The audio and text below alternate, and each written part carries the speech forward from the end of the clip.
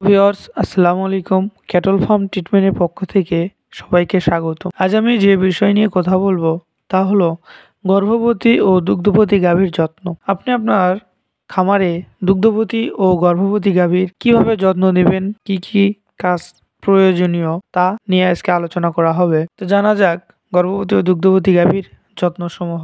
গাভীর পরিচর্যার লক্ষ্য হলো গাভী যাতে অধিক কর্মক্ষম থাকে। কেননা, গাভী যদি দুর্বল হয়ে যায়, অবশ্যই তার উৎপাদন কমে যাবে এবং পেটে যে বাচ্চা থাকবে, সেটিও প্রতিবন্ধী বা দুর্বল প্রকৃতির বাচ্চা হতে পারে।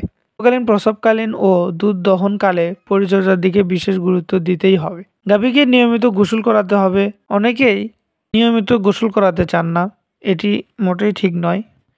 অবশ্যই আপনাকে গাভীকে নিয়মিত গোসল করাতে হবে। পূর্বকালীন সময়ে বিশেষভাবে গাভীর যত্ন নিতে হবে। কেননা গাভীটির পেটে একটি বাচ্চা বড় হচ্ছে, সেদিকে আপনার খেয়াল রেখে অতিরিক্ত যত্ন নেওয়া উচিত। এ সময় গাভীকে প্রচুর পরিমাণে দানাদার খাদ্য দিতে হবে, যেন কোনোভাবেই গাভীর শরীরে ভিটামিন, মিনারেলস বা অন্য যে কোনো পুষ্টি উপাদানের ঘাটতি দেখা না দেয়। গাভীর বাচ্চা প্রসব করার সময় বা তার কিছুদিন আগে গাভীকে অবশ্যই আলাদা সেটে নিয়ে পর্যবেক্ষণে রাখতে হবে। অবশ্যই যে সেটে রাখবেন, সেটি যেন সমতল হয়। একদিকে চৌড়া বা একদিকে ঢালু এরকম যেন না হয়। গর্ভধারণ ও প্রসবকালে গাভীকে সঠিকভাবে যত্ন পরিচর্যা করতে হবে এটি। গর্ভবতী অবস্থায় অবহেলা করলে বাচ্চা নষ্ট হয়ে যেতে পারে। তাই কোনোভাবেই গর্ভবতী গাভীকে অবহেলা করার কিছুই নাই। গাভী প্রজনন ও গর্ভধারণ ক্ষমতা হারিয়ে ফেলতে পারে। আপনি যদি গাভীর সঠিক পরিচর্যা না করেন, অবশ্যই আপনার গাভীটি প্রজনন ক্ষমতা বা গর্ভধারণ ক্ষমতা হারিয়ে ফেলতে পারে। আপনার গাভী প্রস্রাবের লক্ষণ দেখা দিলে গাভীকে শান্ত পরিবেশে রেখে দুই তিন ঘণ্টা পর্যবেক্ষণ করতে হবে।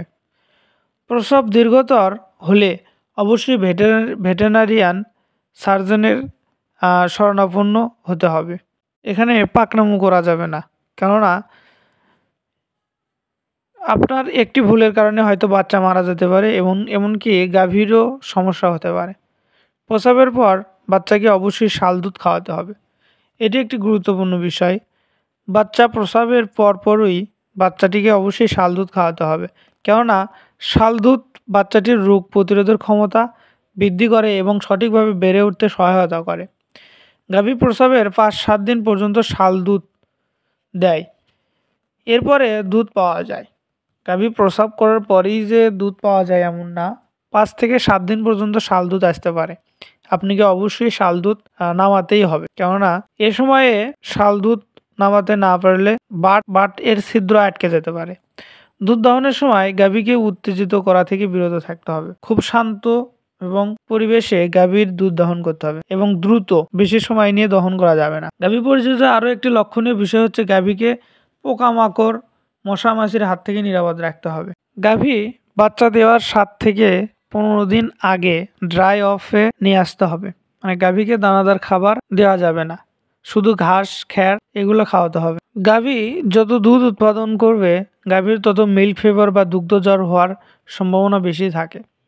তাই দুগ্ধবতী গাভীকে অবশ্যই ক্যালসিয়ামের ডোজ কমপ্লিট করতে হবে। গর্ভধারণের চার মাস হওয়ার পর থেকে প্রতি মাসেই এক লিটার করে ক্যালসিয়াম খাওয়াতে হবে। এতে করে গাভীর ক্যালসিয়ামের অভাব জনিত কারণ থাকবে না, অভাব পূরণ হবে এবং গাভীর পেটের বাচ্চা সুন্দর এবং স্বাস্থ্যকর, পুষ্টিকর হয়ে আসবে। দুগ্ধবতী গাভীর আরেকটি মারাত্মক রোগ হচ্ছে ম্যাস্টাইটিস। এটি অবশ্যই দমন করতে হলে গাভীকে পরিষ্কার পরিচ্ছন্ন জায়গায় রাখতে হবে। এখন জানা যাক প্রসাব পরবর্তী যত্ন। বাছুর হওয়ার পরপরই গাভীকে আগে সেটে ফিরে আনা যাবে না। আলাদা সেটেই রাখতে হবে। অবশ্যই সেটের ভেতরে খ্যার অথবা টের সালা বিছাইয়া দিতে হবে। কেননা প্রসব পরবর্তী সময়ে শেড পিচ্ছিল থাকার কারণে বাচ্চা ঠিকমতো দাঁড়াতে পারে না। গাভী দুর্বল ও ধকলজনিত অবস্থায় থাকে এবং বাচ্চার জন্য ছটপট করতে থাকে। তাই অবশ্যই আপনাকে আলাদা সেটাই রাখতে হবে। বাচ্চা প্রসবের তিরিশ মিনিট পর কুসুম গরম পানি ও পাঁচশো গ্রাম গুড় মিশিয়ে খাওয়াতে পারেন। এ সময়ে গাভীকে সহজ প্রাচ্য খাবার সরবরাহ করতে হবে। কাঁচা ঘাস দেওয়া যেতে পারে। ঘণ্টার মধ্যে গর্ভফুল না পড়লেও হাত দিয়ে বের করা যাবে না। অনেকেই গর্ভফুল পড়তে একটু দেরি হলে হাত দিয়ে বের করে। এটা মোটেই ঠিক নয়। তো আজকের বারে এ পর্যন্তই। ভালো লাগলে লাইক কমেন্ট সাবস্ক্রাইব করে পাশে থাকবেন। ধন্যবাদ।